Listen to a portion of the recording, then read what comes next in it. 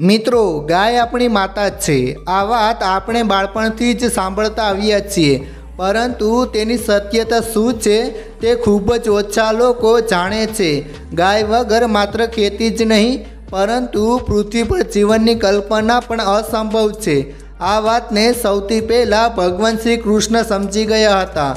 તેથી તેને ગોપાલકનું રૂપ લઈ ગાયનું રક્ષણ અને પાલન કર્યું હતું. મિત્રો, હવે સવાલ એ થાય છે કે ગાયને અન્ય પશુઓની સરખામણીમાં આટલું મહત્ત્વ કેમ આપવામાં આવે છે? અને હિન્દુ ધર્મમાં ગાય શા માટે પૂજાય છે?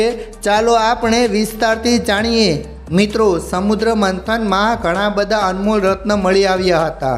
તેમાંથી એક હતી કામતેનું ગાય, જે ગુરુ વશિષ્ઠ દેવને આપવામાં આવી હતી. તેમની પાસે આઠથી નવ પ્રકારની ગાયો હતી. જેમાં કામધેનુ, કપિલા, દેવની, નંદિની અને હોમા વગેરેની ખૂબ જ મહત્ત્વની ગાયો હતી.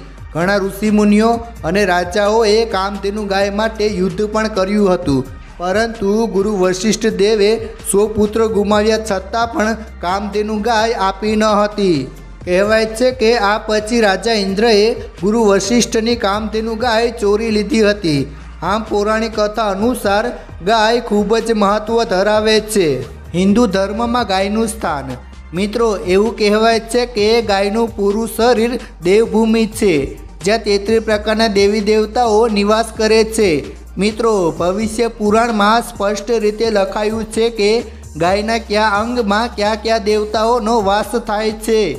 ગાયના પીઠના ભાગમાં બ્રહ્મદેવ, કંઠમાં વિષ્ણુ ભગવાન અને મુખ પ્રદેશમાં ભગવાન શિવનો વાસ થાય છે. બાકી બધા દેવી દેવતાઓ ગાયના મધ્ય ભાગમાં નિવાસ કરે છે. ગાયના દરેક રોમમાં ઋષિ મુનિઓ નિવાસ કરે છે. તો પૂંછડીમાં અનંતનાગનો નિવાસ થાય છે. ગાયના નેત્રમાં સૂર્ય અને ચંદ્રનો નિવાસ બતાવવામાં આવ્યો છે. તેમજ ગૌમૂત્રમાં બધી પવિત્ર નદીઓ અને અશ્વિની કુમારોનો સંગમ થાય છે.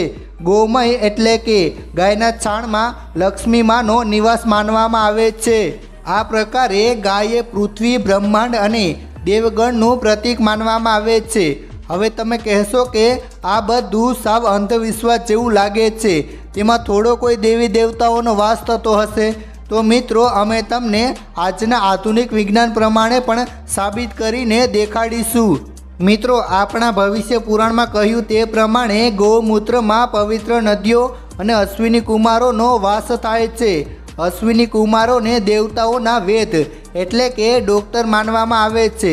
હવે ગૌમૂત્રમાં તેનો વાસ થાય છે એટલે કે ગૌમૂત્ર આપણા શરીર માટે એટલું બધું ફાયદાકારક છે કે જાણે કોઈ અમૃત.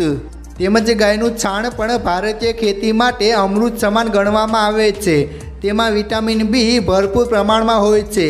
ગાયના છાણને દિવાલ પર લગાવવાથી દિવાલ મજબૂત બને છે અને માખી મચ્છરથી પણ રાહત આપે છે. મિત્રો, હવે તમને સમજાઈ ગયું હશે કે ગાયને માતા કેમ કહેવામાં આવે છે અને તેની અંદર કેટલા દેવી દેવતાઓ વાસ કરે છે.